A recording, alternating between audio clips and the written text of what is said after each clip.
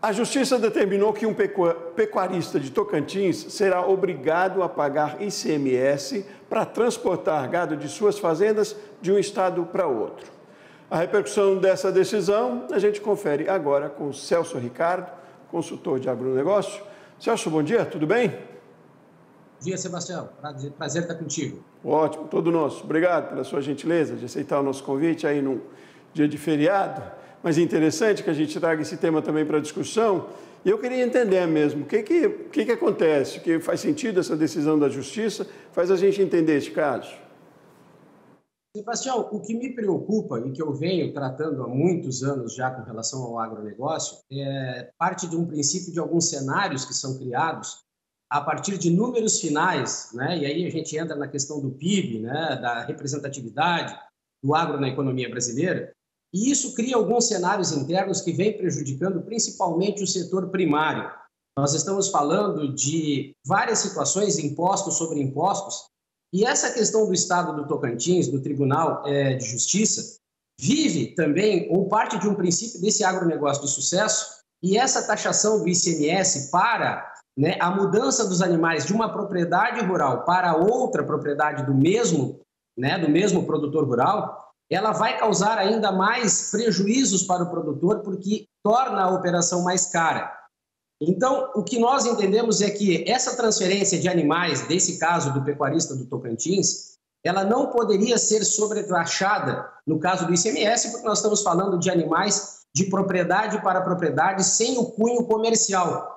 Só que a Justiça do Tocantins entendeu que essa transferência parte de um princípio comercial e definiu como favorável para o Cefaz do Tocantins né, essa cobrança de ICMS que torna para o pecuarista uma operação ainda mais cara. Isso é um fato isolado, Celso? É comum esse tipo? Bom, o tipo de transação eu imagino que sim, entre pecuaristas. Mas o tipo de decisão da justiça? A nível de Brasil, como algo normal. Mas a partir de uma decisão de um determinado local, ela com certeza vai passar a ser é, praticada de maneira igual para todos os demais estados. Volto a dizer que o custo de produção para o produtor, se nós analisarmos o agro, setor primário, secundário e terciário, o produtor rural ele já tem um custo de produção muito alto e é isso que me preocupa. Às vezes tu tem uma determinada situação favorável, por exemplo, ao clima, formação de pasto, nesse caso do pecuarista, e tu determina né, é, a mudança de animais de uma região para outra. Não estou falando da isenção de nota fiscal, mas a cobrança de ICMS vai tornar ainda para esse pecuarista, partindo de um princípio da arroba do boi, que nem a, a, nós viemos acompanhando a nível de Brasil, que ela não tem conseguido, mesmo com as exportações altas, atingir preços maiores, essa mudança, essa situação, essa operação de cobrança de ICMS ainda faz ou vai fazer com que esse produtor não consiga atingir o resultado a partir, sim, de uma comercialização para com o frigorífico, ou numa exportação de gado vivo, por exemplo, que aí sim nós teríamos uma cobrança devida, ainda vai tornar para ele uma situação mais cara, mais complicada e muitas das vezes até sem tu conseguir recuperar, tendo em vista os preços praticados da roupa do boi no Brasil nesse momento. É uma estratégia do negócio, né, Paulo? A transferência, por conta que você falou, de questões até de pastagem, da demanda, não é nenhuma artimanha para se fugir do fisco, não, né? Agora, ainda assim, não houve argumentos suficientes. Qual é outra estratégia que o produtor pode fazer nesse caso? Se onera ainda mais para os custos? Sebastião, o que me preocupa aqui no Brasil, e aí eu digo quando eu acompanho lá nos Estados Unidos, ou a gente vai para a Austrália, vai para outros lugares, é que o produtor rural brasileiro, é, a, o Brasil como um todo criou um cenário que o produtor rural ele está vivendo, está conseguindo grandes resultados. E muito pouco se fala em margem de lucro, em viabilidade econômica, financeira, operacional e comercial para o setor primário. Nós sabemos que a transformação, o setor secundário consegue agregar valor devido à diversificação comercial que consegue no Brasil e fora, também analisando as melhores propostas, principalmente com relação ao preço. Mas o Brasil é um país de commodities e nós nos acomodamos com esse cenário que nos desfavorece porque commodity é o mercado que determina preço, mas os custos de produção, eles têm um impacto muito grande na formação do preço das commodities. Então, o que eu vejo como extremamente necessário é que o produtor rural brasileiro tenha uma representatividade para poder negociar e mostrar, principalmente nesse caso para a justiça, que a situação não é favorável para a pecuária de corte nesse momento.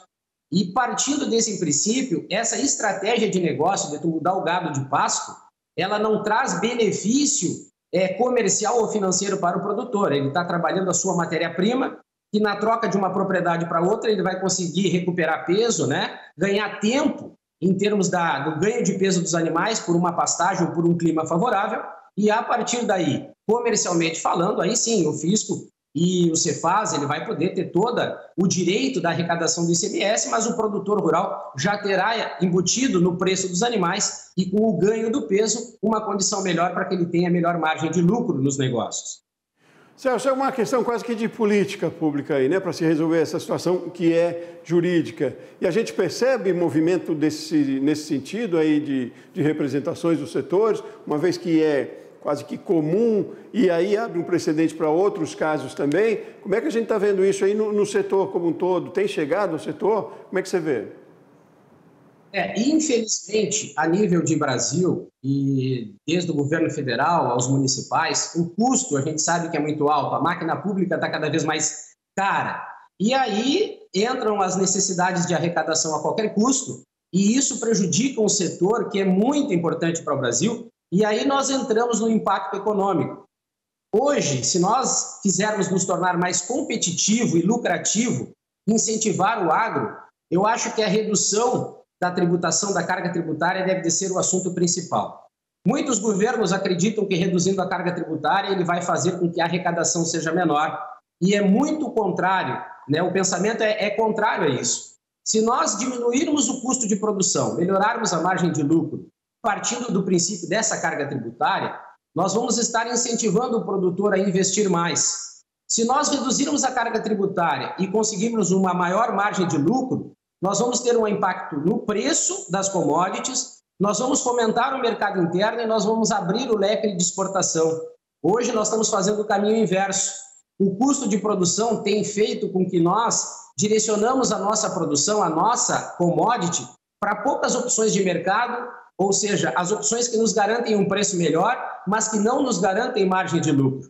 Então, nós deveríamos estar, a nível de governo federal, estadual e municipal também, buscando reduzir esses custos para fomentar mais a produção e, no final, a arrecadação ainda será maior do que com esse impacto de aumento ou de cobranças, nesse caso do Tocantins, do ICMS. Está faltando, sim, uma representatividade ligada direta aos produtores para que aconteça um debate se apresentem números e cenários para mostrar para todos que nós podemos crescer ainda muito mais, mas crescer não somente em volume, mas em resultados para todos, setor primário e secundário de maneira igual, fomentando a produção e garantindo os investimentos, principalmente no campo.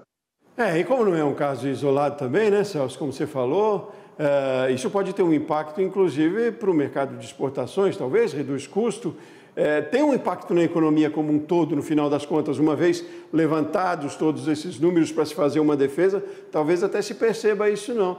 Também, não é? Faz algum sentido? Todo sentido, Sebastião. E nós estamos vendo aqui, a gente acompanhando a reportagem antes, a queda né, da comercialização de máquinas. Nós estamos entrando num cenário agora que é muito próximo do que está acontecendo no Brasil. Nós estamos falando de exportação recorde de representatividade no PIB, e ninguém fala de que esse movimento, muitas das vezes, está acontecendo por uma necessidade do produtor produzir a qualquer custo para poder arrecadar e honrar com seus compromissos sem deixar margem de lucro no campo. Nós estamos desconsiderando até os fatores climáticos que estão impactando de uma maneira muito intensa na produção né, dessa empresa céu aberto, que é a propriedade rural. Então, hoje no Brasil, por sermos um país extremamente agrícola, nós deveríamos estar já com políticas públicas específicas, aí já expandindo um pouco mais a nossa conversa, para tentar, de, algumas, de alguma forma, favorecer quem produz o alimento. Não podemos esquecer que o alimento é produzido no campo. Só que os cenários hoje são desfavoráveis para o produtor rural, e ainda sobre esses cenários desfavoráveis, nós temos esses impostos que acabam acarretando ainda mais problema para o produtor e também favorecendo ou abrindo precedentes para que outros estados também comecem a ter essa prática mais intensa e o produtor rural vai se encontrando cada vez mais num túnel sem poder enxergar aquela luz que vai favorecer ele para investir, produzir, comercializar e ter lucro, que é o que interessa, né, Sebastião? Celso Ricardo, consultor de agronegócio, fazendo um alerta aqui, e é até pertinente para o Dia do Trabalhador, né? Somos todos trabalhadores, pecuaristas também lá no campo, agricultores. Obrigado por hoje, Celso. Um ótimo feriado para você. Obrigado, Sebastião. Um bom feriado para todos aí.